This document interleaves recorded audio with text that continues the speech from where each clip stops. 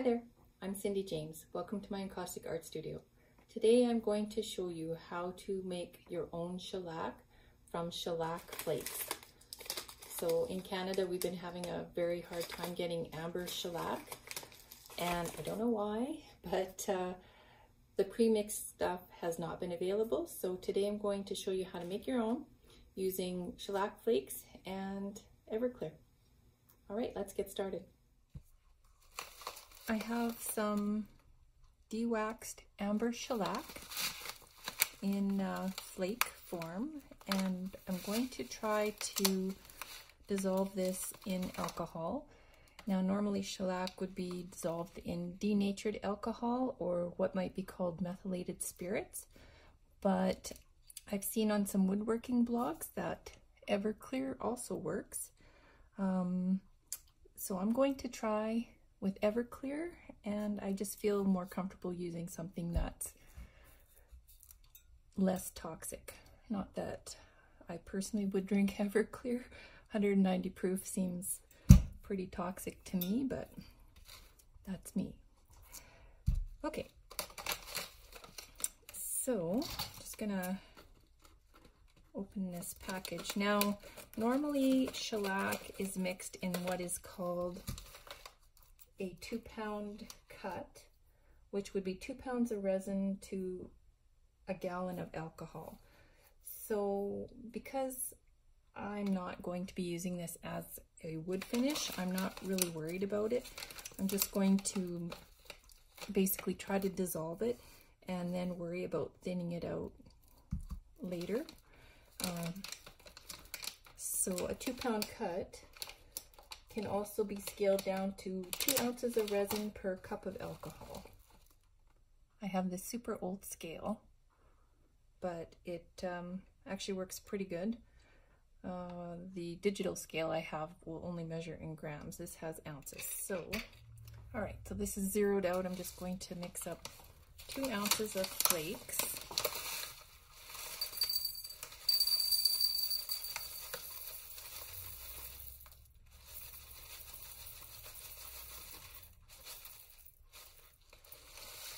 Okay. And the information that I read says make sure it's airtight when you seal it.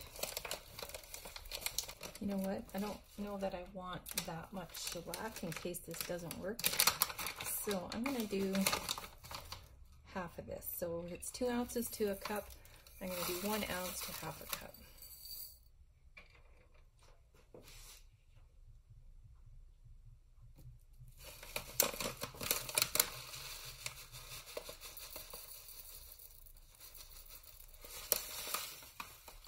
if this doesn't work, I really don't need a jar of shellac that's not burnable. Although I guess I could use it for staining the edges of my panels.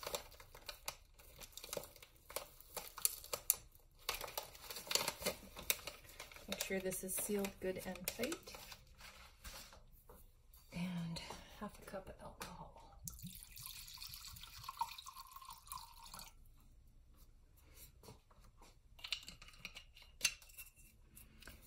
I'm sure the methylated spirits or denatured alcohol is much cheaper than this bottle Everclear. All right, and I have a little stick here. I'm just gonna stir it up and let it dissolve. I know it will dissolve because I mixed up some last night to make sure don't want to leave the lid off of this because my alcohol will evaporate. So I'm just going to put the, the lid on and I'll give it a little swirl here and there until it dissolves. And that might take till tomorrow. But last night I did mix up some shellac from uh, the garnet flakes I purchased. Let me see. So Lee Valley had three different colors of shellac available here. Uh, one was garnet, and it's a nice dark amber sort of color. So I guess as the shellac gets more refined, it gets lighter until you can get almost completely clear shellac. So that would be what they call, I guess, in flake form, super blonde. But um, the clear shellac it's not 100% clear. It's It has a little bit of um, little bit of a color to it. So uh, I do have this mixed up from last night and I'm going to try to do a shellac burn. Right, I have a fairly large panel here that I've been struggling with. It's got a lot of different things on it. I've even got some bits of plant material rubbed into it. Um, but yeah, let's see if this will actually burn. When you when you do burn shellac, you want to make sure you do it in a well ventilated area, in a fireproof area, and um, you're not actually going to light it on fire. You just want to heat it. So we're going to apply the shellac and then I'm going to let it dry and then burn it. We call it a shellac burn, but we're not really actually burning anything.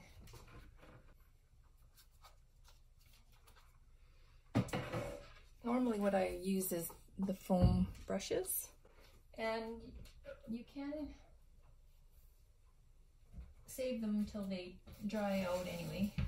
Usually what I do after I use them is I wrap them up really well in a piece of cellophane and um, they're usually good for a couple of weeks. So you want to make sure your shellac is in a glass container.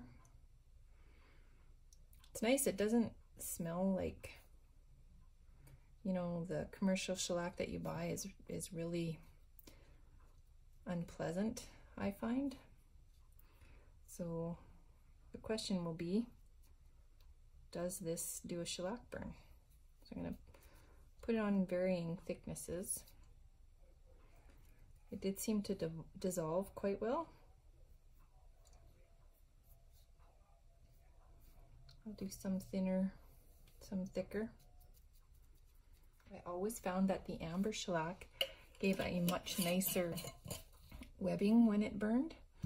So um, we'll see if that's the same.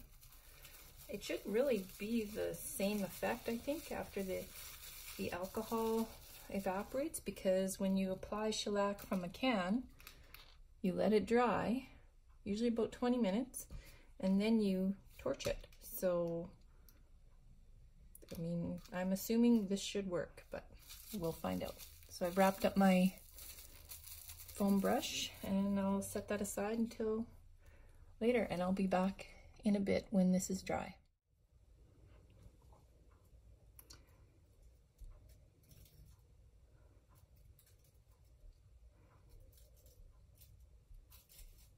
So it's pretty dry.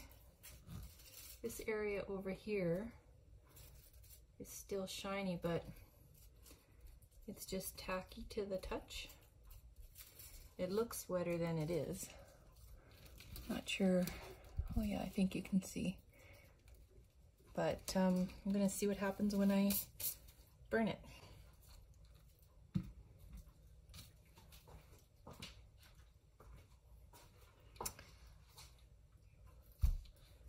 Okay, so remember, we're not looking to actually start it on fire. We just want to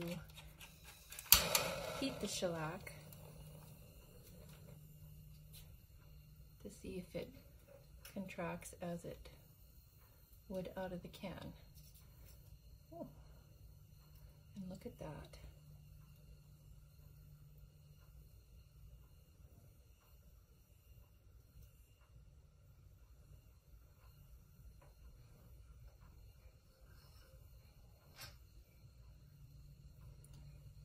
It actually works perfect.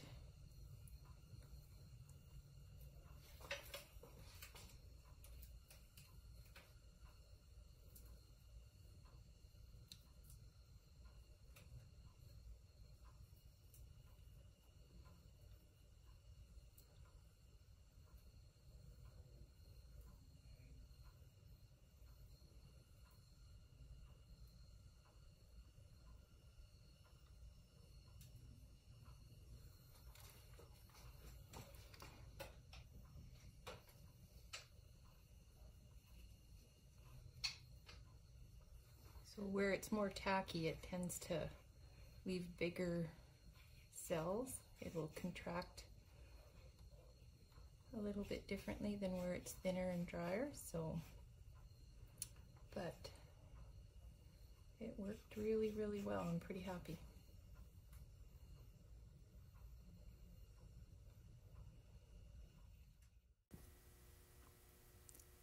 So I'm checking on this shellac that I mixed up and it's uh, pretty gummy on the bottom. So I'm going to give it a stir and see if I can scrape some of that off so that it dissolves a little easier. I don't know if you can see um, how well it's stuck on the bottom, but it's pretty, pretty gummed up. So I'm going to just try to loosen that off. And also it's quite cold in my garage, so I'll probably take this inside because I did read that shellac will dissolve easier in a warmer space. But I mean, I live in Canada, it's winter time, and my studio is in my garage, so not ideal conditions for maybe dissolving shellac. So uh, I'll probably take this inside and uh, try to you know, stir it a little more regularly and we'll see what happens.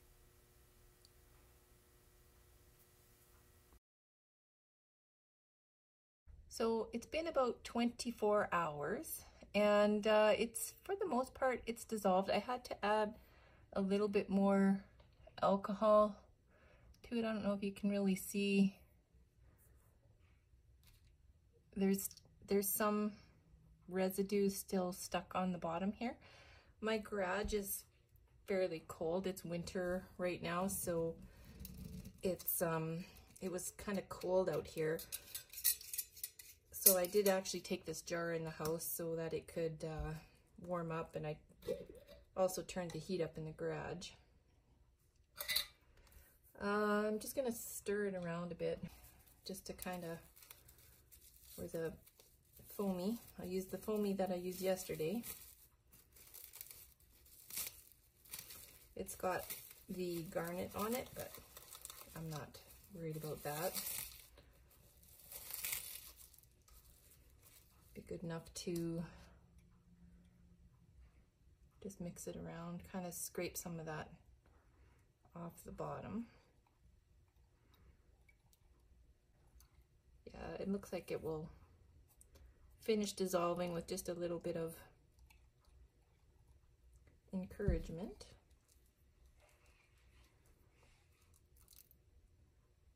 Sure if you can see what, it's just, just a little bit stuck on the bottom. turn it this way and yeah, you can kind of see here. Just try to scrape that off, but yeah, I have to say it's definitely not as unpleasant smelling with the Everclear. And I did look at prices online of denatured alcohol and you know, I didn't compare size necessarily.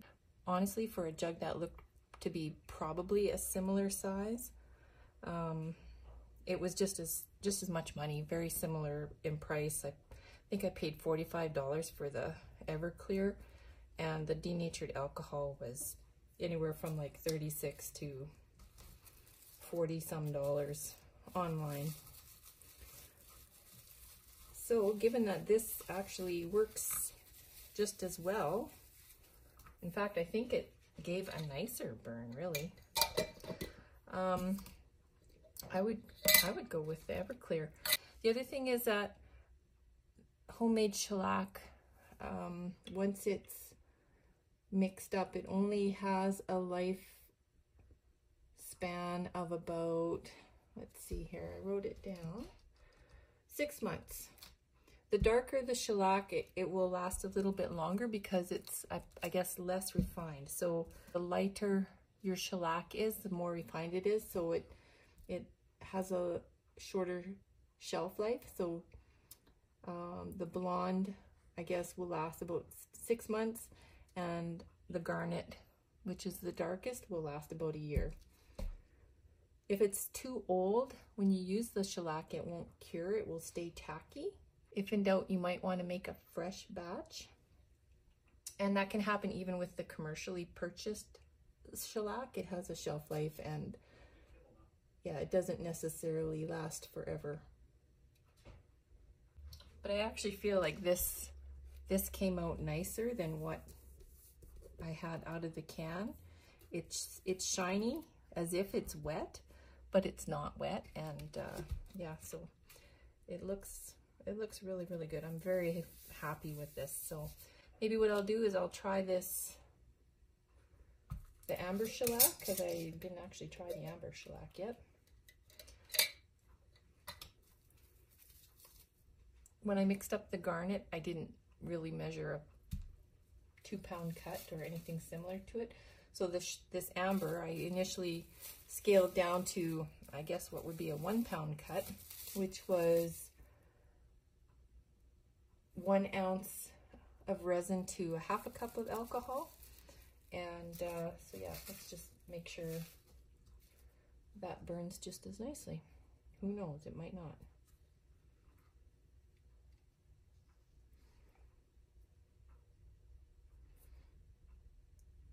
Definitely a lot lighter than the garnet.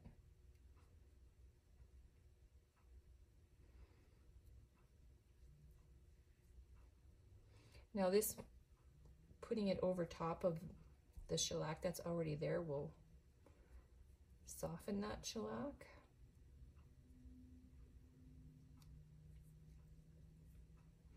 Kind of curious to see what will happen over this flower that I embedded. Okay, and it needs to dry. So I'm gonna give it about 20 minutes and I'll check back. I put it on pretty thick, so it might need more than 20 minutes. The other thing you can do is you can add pigment to your shellac. This painting was actually given a shellac treatment with the commercially prepared clear shellac with some white pigment mixed in, titanium white, and it gave quite a nice shellac burn. But um, yeah, you, normally I find that the clear shellac gives a much smaller, finer burn. You don't typically get such big cells as you do over here. So I'm very happy that this amber shellac worked, or the garnet. In fact, I quite like the garnet. I may have to buy another bag of that. Okay, so this this is pretty dry right now. Um, if I touch it, it it's not tacky. This blob here is a little bit tacky, but I think it'll be okay. So remember, you don't want to burn this when it's wet. It is flammable. And we're not going to light it on fire. We're just going to heat it. Now, hopefully this one, oh yeah, that works works great.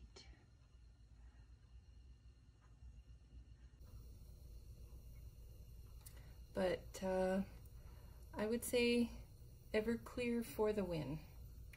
It works really good.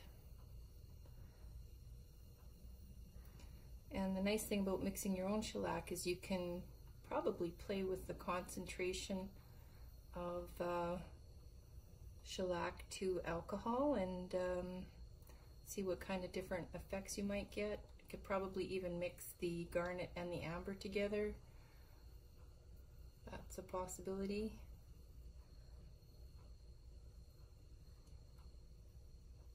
So yeah, definitely a viable alternative. So a few things to take away from this process of making your own shellac. And uh, number one, I would say is I actually felt safer using my own prepared shellac with Everclear versus whatever is in these commercial products. Um, I, it was less smelly. I I just thought it actually made a nicer burn overall. Uh, so I, I think even if the amber shellac becomes more available in Canada, I would probably still continue to make my own. I actually didn't mind that process. I just had to make sure I plan ahead because it does take some time to dissolve. Uh, just a note for you is this this is the new packaging that the shellac has been coming in. I, like I say, I have been able to find clear, just not the amber. So this is the newer packaging as of the time of this video. So um, just in regards to remembering that shellac has a shelf life. Um, so if you see shellac in this can, it's going to be a little bit older.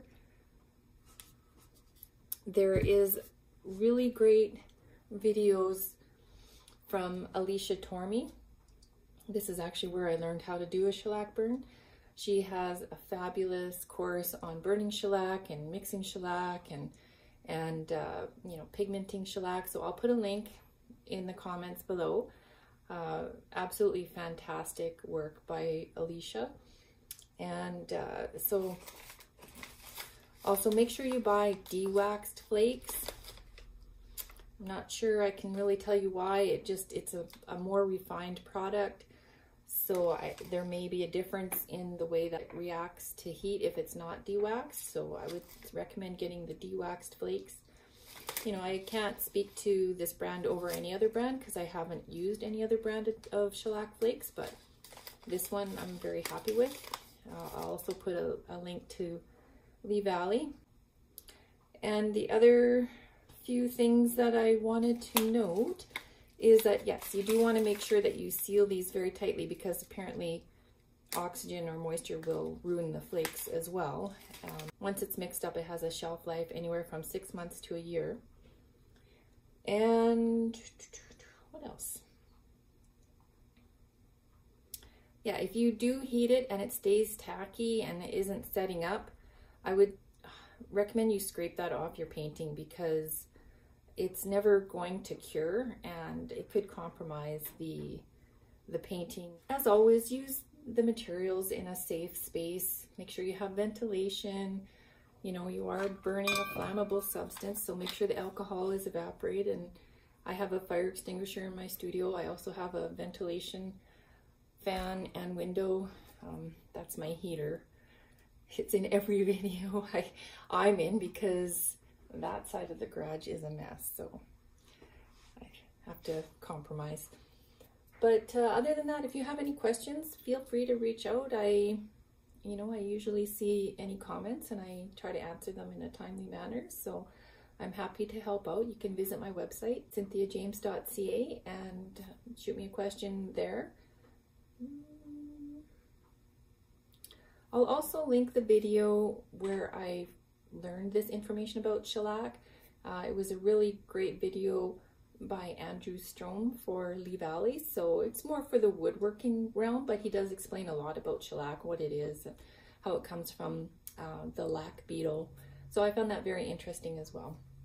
And I think I even have uh, a link to the blog where I read that you could use Everclear in place of um, denatured alcohol or methylated spirits. So in the end, Everclear for the win. I'm really happy with the way this turned out. So hopefully I can use it uh, in more paintings. So thanks for watching. Please like and subscribe as they say these days. So take care. Bye.